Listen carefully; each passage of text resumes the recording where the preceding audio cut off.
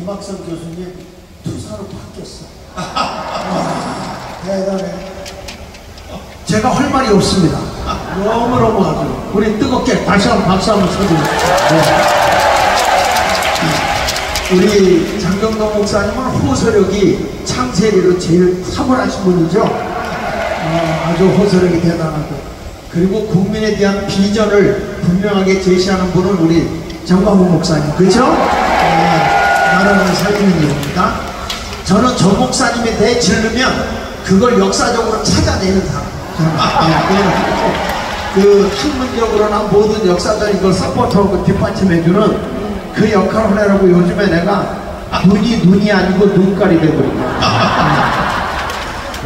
어, 우리 지난번에 손상대 교수님이 그런 말씀 하더라고요. 요즘에 인터넷에 많이 돌고 있는 이야기 가운데 하나인데, 뭐 라면하고 참기름하고 싸웠는데, 라면이 붙들려 갔다는 겁니다.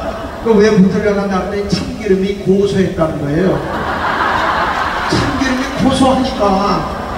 그래가지고 한참 있다가 조사하다 보니까 참기름도 붙들려 갔다는 거야. 왜 붙들려 갔나 봤더니 라면이 다 불었대. 다 불었대. 네, 다 불어가지고, 그래가지고 붙들려 갔다는 겁니다. 그러더니 그 옆에서 아니라고 편들어주고 있던 김밥이 또 잡혀 들어갔다네. 왜 그러냐? 말려들었대. 말려들었대. 김밥을 말아가지고 말려들었어. 그래서 새벽에 붙들려 들어간 걸 또 면회 가다가 아이스크림이 교통사고를 당했다네. 너왜 교통사고를 당했냐 그랬더니 아이스크림이 차가 와서 차가 와서 교통사고를 당했다는. 그래서 이런 걸 다 조사해다 보니까 이게 다 소금이 한 짓이더래. 왜 소금이 했냐 그랬더니 짠 거야 짠 거.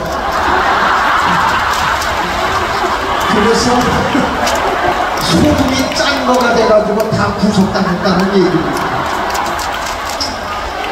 자 우리 손상대 교수님이 한 얘기 제가 좀 리피트 했어요. 반복해봤습니다. 그런데 제가 하니까 더 잘 웃네. 그렇죠? 그리고 아까 장병동 목사님이 자꾸 주둥이 주둥이 하는데 여러분 입이 있고 주둥이가 있고 아가리가 있는 건 확실합니다. 한국 국어에, 국어 사전에 보면 입이라고 하는 것은 말과 행동이 일치되는 것이에요.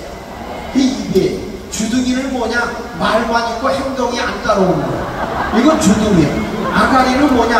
남을 험담하고 모략하는 게 아가리야. 이렇게 국 국어사전에 설명이 안 나와 있다는 것입니다. 이것은 제가 보기에 그렇다 그 말. 자, 자 이렇게 한번 웃자고 한 얘기입니다. 자, 여러분 자유마을은 한국의 희망이다. 다시 한번 다 따라합시다. 자유마을은 한국의 희망이다. 다시요. 자유마을은 무너진 대한민국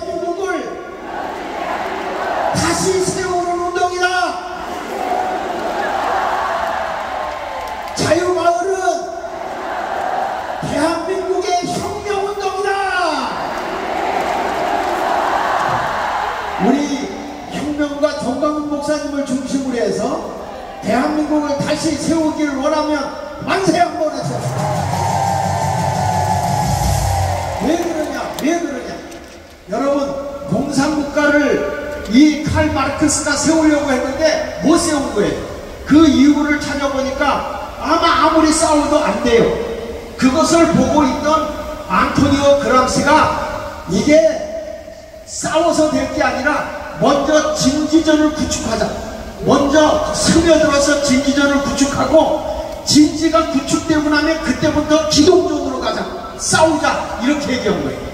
그래서 이 앙토니오 그람스가 뭐라고 했냐면 조용한 혁명을 일으키자. 조용한 혁명. 그래서 조용한 혁명 11개 계명으로 파고 들어가자. 그 11가지를 여러분들에게 잠깐 읽어드리면 첫째, 지속적인 사회 변화로 혼란을 조성하라. 여러분, 나라를 자꾸 변화 변화 얘기하면서 혼란을 조성한다는 거예요. 지금 좌익 세력들은 계속 나라를 찬성하는 법이 없어요. 뭐든지 안 됐다고 혼란을 조성합니다. 과거에 우리 코로나 사건이라든지 가짜뉴스라든지 촛불 집회라든지 방울병이라든지 이런 모든 것들 다 가짜뉴스로 윤석열 대통령 있는 동안에도 여러분 이들이 계속 혼란을 일으키려고 하다가 아니 이태원 사건도 그걸 가지고 막 일으키려고 하다가 광화문 세력이 불을 꺼버렸어요. 저들이 잼버리 사건도 잼버리가 아니라 잼비리야 잼비리 막 지금도 어지럽게 하지만은 아무리 그래도 안 돼. 왜? 정광훈 목사님이 이끄는 이 광화문 세력이 워낙 세 워낙 세. 왜냐하면 이 좌익세들이 주장하는 게 뭐냐면요. 다중이 정의다 그래 다중이. 많은 사람이 모여서 외치는 게 정의라고 그들이 주장했던 거예요. 그래서 광우병 사건이라든지 촛불시 이런 것들을 계속 끌고 나왔었는데 그동안에 우리는 뭔지도 모르고 멍청하게 우파가 당했단 말이에요. 이것을 깨우쳐줄 분이 정광훈 목사입니다.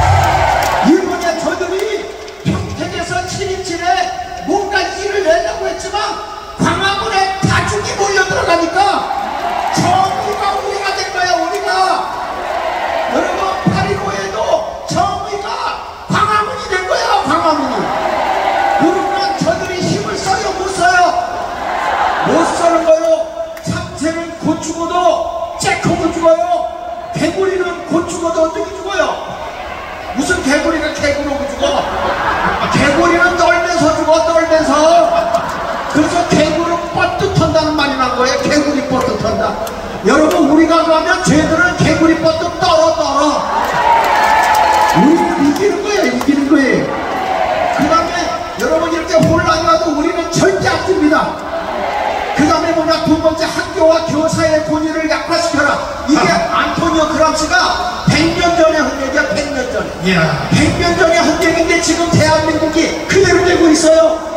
그래가지고 교사들의 권위가 다 무너졌고 공교육이 다 망가져 아이들에게 알지 못하는 이 어린 아이들에게 이 성에 대해서 가르쳐가지고 성에 대해서 미화시켜서 이들이 잘못되게 해줘요.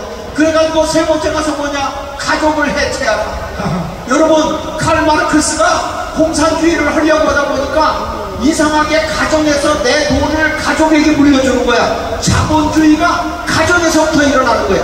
공산주의가 안 되고 자본주의가 가정에서 일어나니까 공산국가를 만들려고 하면 가정을 파괴해야 된다.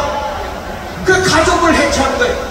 여러분 이런 것에 우리가 속아 넘어가면 안 돼. 그래서 우리가 자유마음 운동하는 것은 가족을 지키는 거고요. 나라를 지키는 겁니다. 네 번째 가서 뭐 어린이들에게 성교육과 동성애 교육을 실시하라.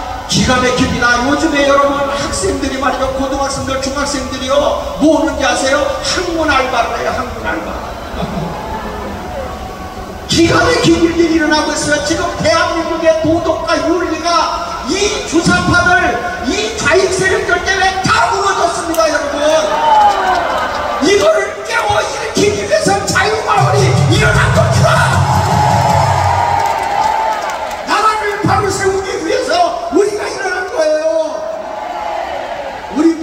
시민하고 마시려고 합니다. 대한민국의 윤리 도덕이 다 무너졌습니다 여러분. 하나님의 십계명 5개명부터 십계명까지가 다 무너졌습니다. 이거 다시 세워야 합니다. 일으켜야 합니다. 그 다음에 다섯 번째 뭡니까? 이, 이 안토니오 크람시가 이탈리아에서 공산주의가 안 됐단 말이야. 왜 안 됐는가? 그 첫 번째 원인이 기독교 때문에 안 된 거예요. 그래서 이들이 주장하는 게 다섯 번째가 뭐예요? 교회를 해체하라. 여러분 지금 끔찍하게 국회에서 교회 폐쇄법을 상정시켰어요. 이게 될 일입니까? 그래서 내년 4월 10일에요. 우리가 국회의원 200석을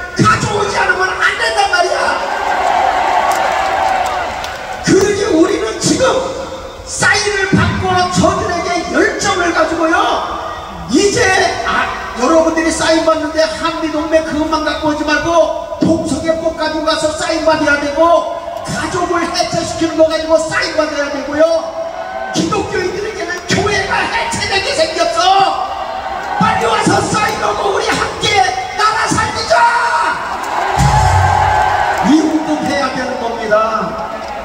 여섯 번째 보면 대량이자 이민으로 민족 정체성을 파괴하라. 단일 민족을 파괴시켜라. 일곱 번째 인종차별로 범죄를 규정하라. 지금 여러분 우리나라는 말이야. 차별금지법 종교와 아니 양심과 종교의 자라는 것 때문에 예수 믿고 구원받으면은 천국 갑니다. 이 말에도 여러분 고발당하고 벌금 물어요. 전도하러 가는 것도 고발당해요 선생님이 한 분이 저희 주일학교 선생님이 학교 앞에 가서 전도하다가 고발당해서 벌금 300만 원 물었어.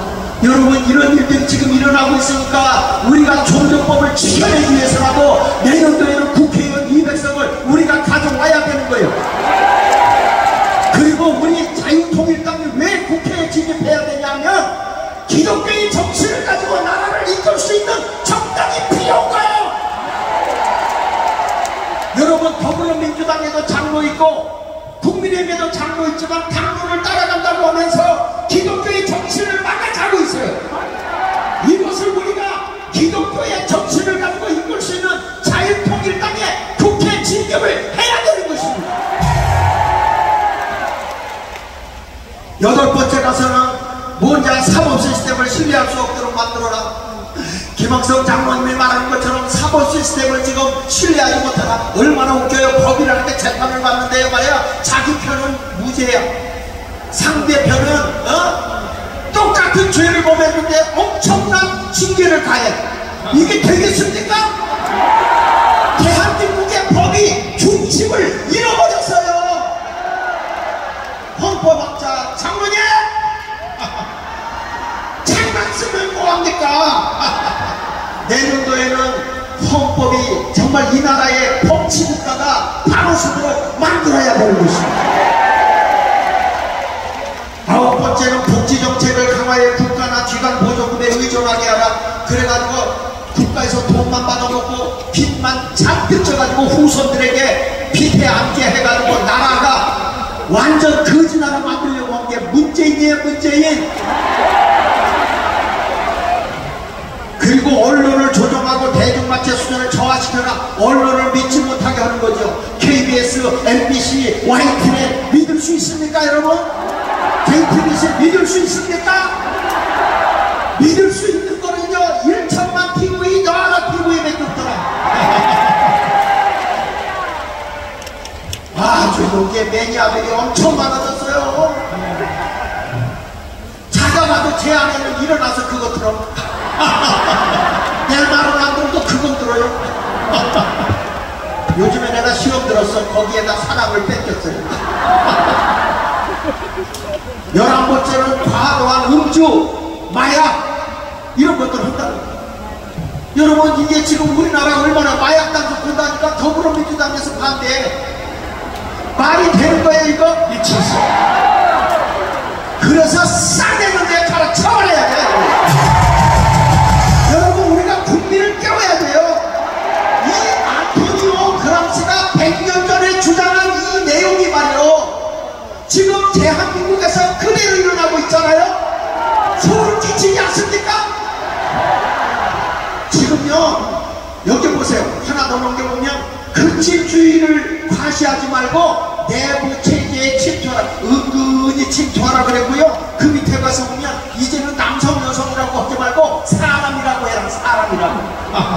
그래가지고 화장실도 중성 화장실이 생겼어. 제가 시간이 많이 갔기 때문에 한 가지만 더 예를 들게요 다음에 보면 우리 부모를 공경하라 그러지 않았습니까? 그런데 넘겨서 보세요. 여기 보면 이런 게 나옵니다. 친권자는 그자를 보호 또는 교양하기 위해 필요한 징계를 할 수 있고 민법 915조지 않아요? 부모가 자식을 훈계하고 책망할 수 있다는 이 법을요 삭제시켜버렸어요 이걸 삭제해놨습니다. 여러분 여기 보십시오. 이걸 밑에 삭제한 거예요. 그래서 이걸 어떻냐면 조례법에 의해서 부모가 야단치면 자식이 부모를 고발하는 법을 만들어 놓은 거예요. 그 지금 형사 우리 교회 형사가 계신데 형사가 하는 얘기가 아침에 출근해 보면 부모를 고발한 사건이 그렇게 많다는 거예요 여러분 이게 말종이지 뭐예요 말종인 거죠. 그리고 이번에 국회에서 말이죠. 헌법 제5에다가 뭘 하려고 하냐면 10명을 추가시키려고 하는데 차별금지법에 10명을 추가시키려고. 만 8세 이상. 미쳐서 간 거예요 여러분 지금은 이런 거 알아요? 헌법학자가 있어도 안 가르쳐주죠 다음에 넘겨서 보시면 여기는 이게 남은 수면 비례 투표권 주다 이거 보세요. 어른을 공경하지 않잖아 이게 더불어민주당 개혁한다는 사람들이 할 얘기입니까 이게? 여러분 부모를 공경해야 땅에서 잘 되고 장수하는 거예요. 어른을 공경 성경 그랬어요 너는 샘머리 앞에 일어나라. 나이 드신 분 앞에 일어나라는 거예요. 노인을 공경할 줄 모르면 성경을 몰아서 죽여버리라고 그랬어. 죽여버리라고. 그랬어 지금 야, 이, 이 주사파라 이 좌익 세력들이 이렇게 하고 있어요. 그런데 여기 보세요. 하나 더 넘겨서 보시면 하나 더 넘겨보세요. 여기 보면 역사학자 포인비가 무슨 말인지 아십니까? 지장에서 가장 아름다운 가족 제도는 한국에 있다. 역사학자의 포인비가 주장한 거예요. 장차 한국 문화가 인류에게 기여할 것이 있다면 그것은 바로 부모를 공경하는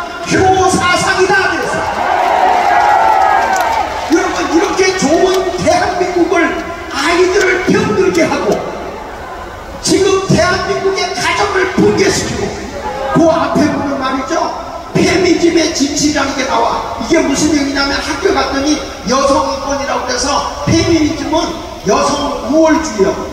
그래서 아버지가 남성이라고 이 딸의 아버지를 그렇게 욕하고 아버지에게 대는 거예요. 남성이면 가야! 이렇게 대는 거예요. 나중에 말이야 아버지가 돌아가셨어요. 이 딸이 보니까 이게 여성인권 운동, 운동이 아니었고 남성 비하 운동이었더라. 그래서 자기가 살아온 게 쓰레기 같은 인생의 삶을 살았다고 통곡하고 울었다는 게 이렇게 나와 있는 거예요. 그래서 우리는 효의 정신 21세기에 거기 하나 더 마지막에 가서 보면 같이 한번 읽어볼까요? 이 대천덕식 보던 얘기야 시작 효의 정신은 21세기에도 한국인들이 반드시 지켜야 할 중심 사상이다 여러분 효의 사상은 하나님이 주신 땅에서 주신 약속 있는 첫 계명이에요 땅에서 잘 되고 장수하는 거예요 여러분 이런 것을 제가 하자면 끝이 없이 가기 때문에 오늘 여기까지만 제가 하겠는데 지금 모든 우리나라의 시스템의 윤리와 도덕이 다 무너졌습니다. 주사파에 의해서 다 무너졌습니다. 이것을 다시 세워 대한민국을 굳건한 건강한 나라로 세울 수 있는 것은 자유마을 여러분밖